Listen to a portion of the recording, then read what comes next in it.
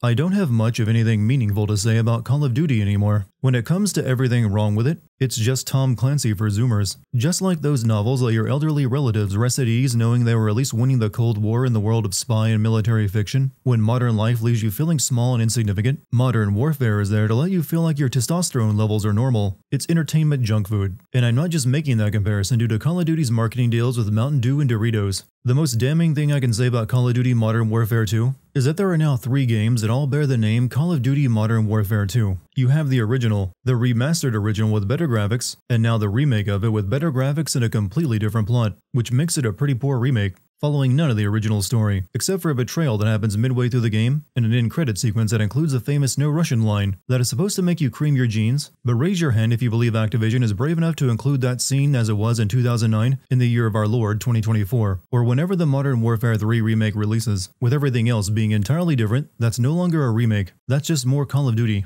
If this and the last Modern Warfare game are Call of Duty's ideal of a remake, then it goes toward proving my belief that Call of Duty isn't so much a shooter as it is a sports game with guns. You can't actually change the rules, just the presentation. Picture EA remaking Madden 09. For a game to be remade, I feel you should be able to find a good reason to reimagine older games with modern graphics, plot tweaks, and updated gameplay. If I played the remake of Modern Warfare 2 and the original game back to back, I doubt I would notice any difference beside the entirely different plot. Call of Duty continues its tradition of name-dropping Western countries when the events are set there, except Iran, since you can't sell games there. Armed personnel, armor and hardware, all Russian. What the hell are the Russians doing with Ghorbrani? Supplying Iran. It's an arms deal. If Russia is selling weapons to an Iranian general, why wouldn't they make that sell in Iran where it would be safe from anyone who might try to disrupt it? The US military doesn't have any reason to hide its missile launch systems inside shipping containers. We're pretty open about it when we're bombing you, and a shipping container doesn't even make good camouflage in the desert anyway. You don't manually guide ballistic missiles, as this game calls them. We have a hit on Ghorbrani's second in command. Hassan Zyani, Quds Force Major. He's taken up the mantle for Iran. Supplying terrorists. Money, weapons, intel. Well, he's ambitious. He's dangerous, sir. He wants retaliation for the Ghorbrani strike. If you played the previous Modern Warfare 1 remake, you may have noticed that none of this has anything to do with the villain the ending of that game set up. He never even appears, having been completely written out. Ghost and Soap will lead a Marine Special Operations unit to kill or capture Hassan tonight. All shooters have execute authority, but we want Hassan alive for interrogation. But you just said your men are to kill or capture Hassan.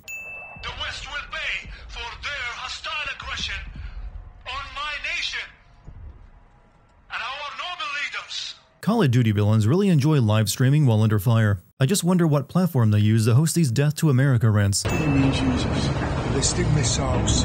It's a mobile launcher. These will go a thousand miles. Those are not ballistic missiles. We saw one launched earlier to strike the Iranian general during the arms deal. It was a cruise missile that was guided manually through mountain valleys by a person. Ballistic missiles launch, rocket above the atmosphere, then come down in a non-powered flight on a programmed ballistic course toward its target, hence the name ballistic missile.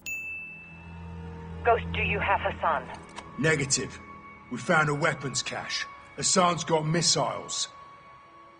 They're American. Hassan got himself some of the US missiles that are disguised as cargo containers. But since we know they look like cargo containers, that makes finding them a lot easier, since there are only so many places where cargo containers enter the country. And if you have a good idea where the shipping containers are coming from, that makes it even easier to find them. Amsterdam. What the hell's Amsterdam got to do with this? It's a smuggling hub. Ports and canals are insecure. Iran has friends there. There are a lot of smuggling hubs in the world. Picking Amsterdam with nothing to point you to it specifically is a guess at best. You don't even know if Hassan is planning to smuggle them out of Al Mazrah. That is not the hat you wear when you're going to be swimming in canals. Mexican cartel. The hell are they doing here? As well. Iran's using the cartel for transport. Give me a name, John. Las Almas. Hassan's working with narcos. Hassan is working with Mexican cartels to smuggle his missiles and himself into the US. That's something that's very unlikely and generally a made-up argument used to tamp down an immigration policy. Cartel members don't use password protection or any security on their phones. That way, when authorities grab them, they can see the messages coming in as soon as they pull it from their pocket.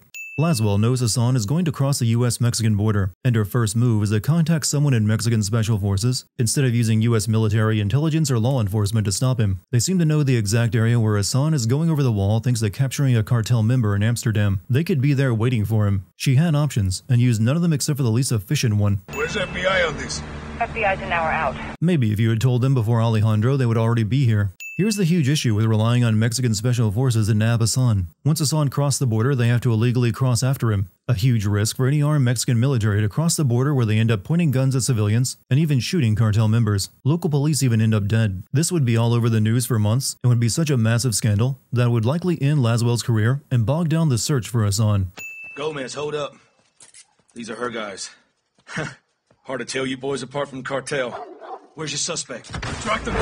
They make sure to have the cops say something bigoted before killing them. I'm getting conflicted political messaging from all this. On one hand, it uses the unlikely scenario of cartels smuggling terrorists into the US, and on the other, it has bigoted cops and US PMC forces. It is an election year after all.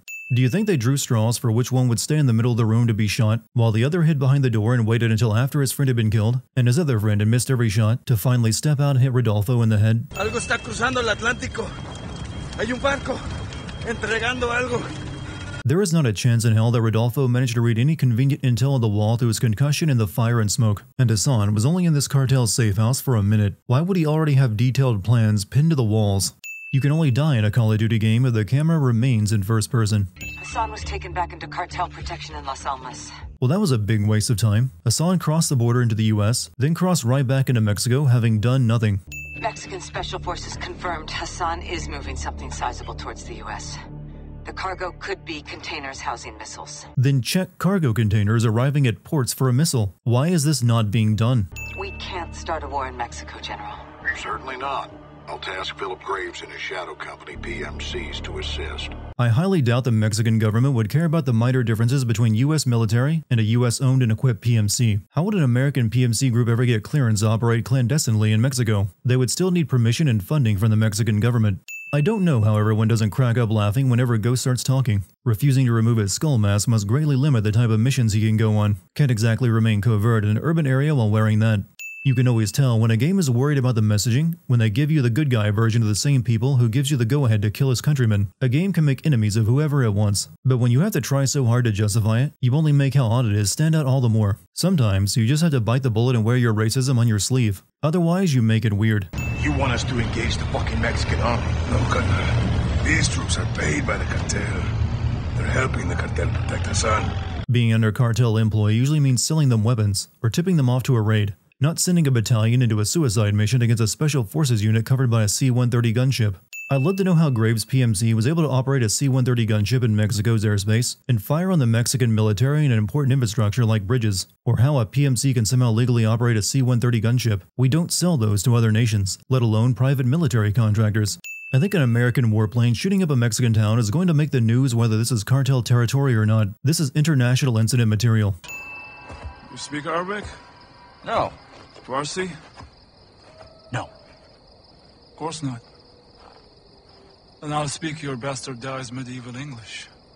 Because you're all uneducated street dogs. Ah. Activision thinks making scenes where a captive speaks the language of its captives is some kind of own. Last time it was speaking German, and now we have an Iranian speaking English. Where'd you get American missiles from?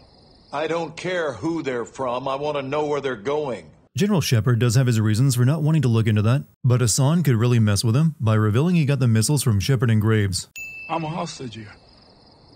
This is illegal. You're a prisoner of war. Iran is not at war with Mexico.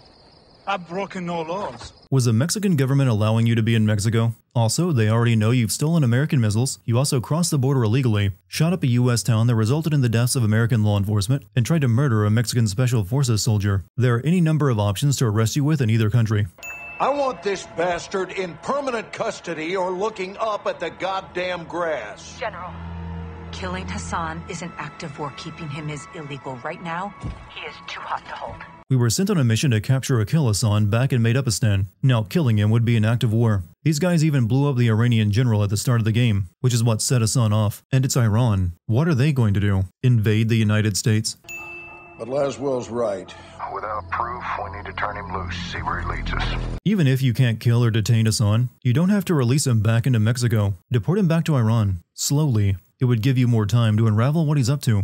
The only thing they got out of this was tracing a phone call Hassan made to a hatchery plant in Spain, which serves as a smuggling front. Since Spain is an ally, you should be able to work through the Spanish government to raid the place. But no, Price and Gaz must sneak in wearing ghillie suits, because the remakes have the order of events screwed up. The ghillie suit mission should have been in the Modern Warfare 1 remake. We have no jurisdiction here, John. You didn't have jurisdiction in Mexico as well. And Spain is part of NATO. Why can't they go in if Mexican special forces can help you in Mexico? Al-Qatala terrorists grabbed Laswell out on her boat, who I think was here just so she could be captured, because she wasn't doing anything particularly useful. Terrorists always use decade-old phones and make videos. This is proof of life. Where did this come from? Urzikstan. Did they actually make a vlog about capturing a CIA agent and even reveal where they had taken her? Urzikstan is supposed to be located by the Black Sea, but they somehow got her from Spain to there in no time. No. they're pointing east. Likely to Al Mazrah. Based on what point of reference in the video, you couldn't even see the sun. Since Shepard won't help rescue Laswell, Price recruits Farah from the previous Modern Warfare game to help. I guess she had nothing better to do and could muster her forces to rescue a CIA agent at a moment's notice. But the bigger issue is how do you know the terrorists wouldn't kill Laswell at the first sign of any attempt to take her back? They have zero reason to keep her alive. It's a chopper. You don't have to fly directly over the highway so that Gaz, who's hanging upside down after being knocked out by an RPG, has to dodge traffic while shooting. Don't volunteer all at once to help the 50 year old woman as she chokes out a terrorist. They just stand there and watch while she proves she isn't a helpless woman after the game made her the damsel in distress for a bit. Missiles were never in Spain, the guidance systems were. Guidance systems. Where the hell did they get those? Russians. How do you suddenly know this? The terrorists didn't tell you while they held you captive, did they? And where did the Russians get the guidance systems for American missiles from? Weren't you working with the Russians at the end of the Modern Warfare 1 remake to take on the terrorists? That's what the ending suggested. Get one of us inside, find the boss, roll him up. I'll do it. You go in there and they'll kill you, hermano. I'll take my chances. We came here to stop a missile. Let's stop it. I'll offer intel for a meet with Sin Nombre. And if he's there, we pounce. So volunteers to be the sacrificial lamb to get inside and meet with the cartel leader in exchange for info. Meanwhile, Alejandro gets inside by just taking a guard suit. Since the only thing they needed was to get inside to identify the cartel leader, they could have just left it to Alejandro. Soap ends up having to sneak around the manor anyways. I want to see El Sin Nombre. Soap asks to meet the cartel leader in return for information on who attacked them. They don't bother asking him why he wants to meet the boss, especially after he's given up all the valuable info before meeting him. Who attacked us? Valeria questions Soap on who attacked the cartel. Just who do you think? They used a C-130 gunship and were after the Iranian terrorists you were housing while they tried to sneak into the US to launch an attack on it. Maybe it was Canada. Who knows? What proof do you have? Revise mi bolsillo. After questioning Soap on the American PMC company and its leader, they untie him and let him walk around the party upstairs, even though it should be obvious that the only way Soap could know any of that information is if he were part of the operation that attacked them. Turns out Valeria was El Sin Nombre, and is then easily captured by landing a helicopter on the roof. In a lot of these missions, I don't feel like I do much. I know COD doesn't trust the player and always gives them a chaperone who walks them down hallways and opens doors for them, but I'm feeling increasingly pointless in this game. As long as there is a war on terror, That is some thick logic. If you help terrorists attack the United States, then you are a terrorist and the US would come for you. Just because you sell drugs doesn't mean you wouldn't be considered a terrorist. Lots of terrorists sell drugs. The Taliban's main export was opium, and a war on drugs is no real threat to you. The last one only increased profits for narcos. And to think that US law enforcement can't go after drugs while the army goes after terrorists can be added to the list of stupid stuff that just came out of your mouth. I can tell you where to find the missiles. When you return, I'll tell you where Hassan is. In exchange, you will let me go and get the fuck out of Las Almas. Se me largan ya. As competent as these characters are at killing, they continue to suck in negotiation, allowing their captive to walk all over them and dictate the terms. The second missile is on an abandoned oil rig the cartel used as a smuggling base, which has to make it the worst smuggling base in the world, because it would be simple to keep watch over it. The whole point of these missiles being disguised as cargo containers means you can ship them anywhere inconspicuously. Why store it somewhere you would never find a cargo container? Actual, we got a problem. Missile is armed. Controls are somewhere on the ship. They move the controls for the missile to the cargo ship while the missile is still on the oil platform. Instead of disabling the missile so it can't launch, they have to quickly cross to the ship and raid it to get their hands on the control module to change the target. Just strap some C4 explosives to it, guys. Clear the platform and done. I'll admit that the unsecured cargo sliding around which can crush you and enemies is a pretty nice touch. We can't disarm it. Why? It's too late. There's no abort code? Yeah, well, the window's closed on that, boys. The window closed on the abort code before the missile is even launched. Why is everything having to do with these missiles just wrong? They call them ballistic missiles when they are clearly cruise missiles. You can't abort launch before even launching, and they are needlessly designed to look like cargo containers. It's headed for New Orleans. Not anymore. What's in New Orleans you'd want to shoot with a missile? And if you commit this terrorist act now, using your last missile on a far more important target is going to be next to impossible. This is the immediate future. Step away from the gate. What? You heard me. Crazy. This is my base. Not a base. This is a sizable covert facility, and I admire it. So I'm taking. You boys have been relieved. Thank you for your service. So are you telling me that the US PMC that shot up an entire Mexican town can just take over a special forces military base in Mexico with no reprisal from the government? I'm calling Shepard. General Shepard sends his regards. He told me y'all wouldn't take this well. He knows about this.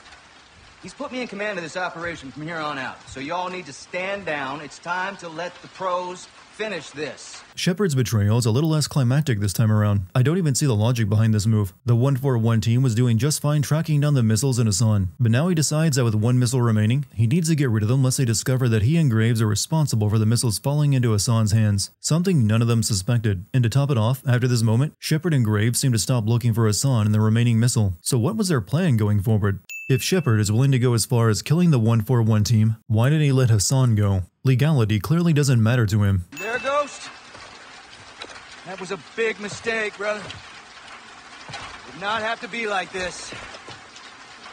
This remake couldn't even kill Ghost this time around. For some reason, that Edge Lord is the Boba Fett of this series. Earlier, Graves had to let Hassan go due to legality. Here, his men kill an entire city block of people looking for Soap and Ghost like it's no big deal. Soap's wound will only inconvenience him for this one level. Soap tossed his sidearm after it went dry while running from the PMC mercenaries. I guess he doesn't carry any spare mags on that tactical vest of his. Now he's unarmed and has to craft weapons while making his way toward Ghost holed up in a church. Where are we? Alejandro's safe house. Gave him the location just in case. Alejandro had a massive military base for his special forces unit and a safe house full of equipment set up in the same area. What exactly was the guy preparing for? Cartels taking over the entire country? I don't recall Rodolfo being present when the PMC took over, and Alejandro's men inside the base were all detained by them, yet he's hiding out in Alejandro's safe house. Graves is holding him here. His own personal black site prison. Rodolfo has been a busy guy tonight. He somehow learned of the PMC takeover, and he already knows where Graves is holding Alejandro. And Graves must have been even busier. He not only commandeered Alejandro's base, but took over an entire city and set up a black site prison in country. Awful lot of security here for what amounts to one guy in a solitary confinement cell and a few others in another. Did you need an entire prison for that? Even though Price didn't know anything about what was going on here in Mexico, or with the Black Site prison, he shows up to help them escape regardless. The game explains that Laswell called him, but that doesn't explain how he knew to come to this location, or who to shoot at because she didn't either. Shepard burned us. He sent Graves to the shadows to kill us around up Los Vaqueros. We know why. Laswell did a bit of digging. What did she find? Truth.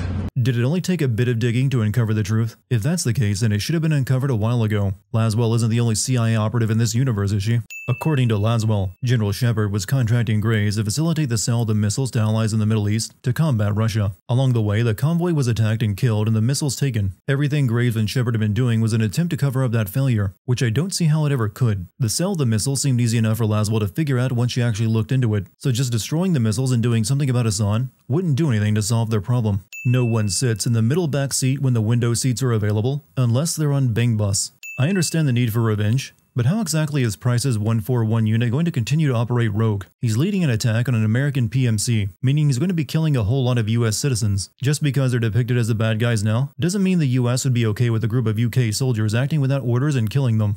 Ghost must have come to Mexico prepared for this moment since he has a whole box of ghost masks ready for everyone to put on.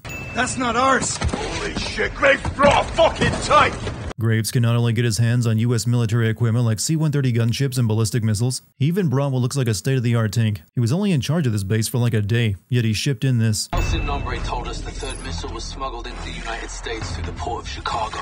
How about that? They shipped the missile through a US port, even though they knew Hassan was trying to ship weapons disguised as cargo containers into the US. Hassan and his AQ soldiers are with it.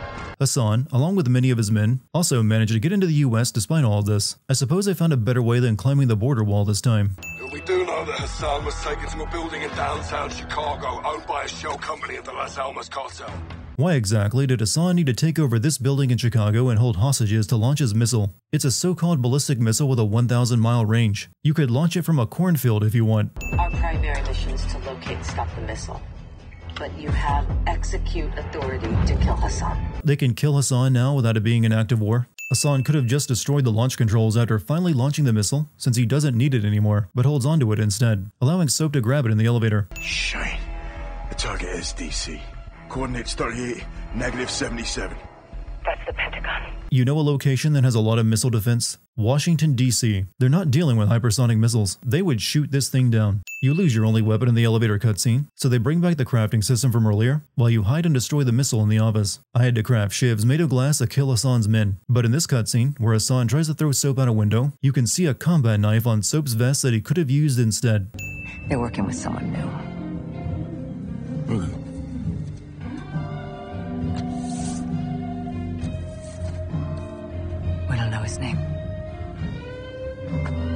He's not bad. Who is he? Makarov. Considering that the previous Modern Warfare 1 remake set up a completely different villain who was written out of the sequel, I'm not sure you should get hyped over Makarov, especially since it's going to be harder to convince people that Russia is a capable threat that could actually invade the US after recent events in Ukraine.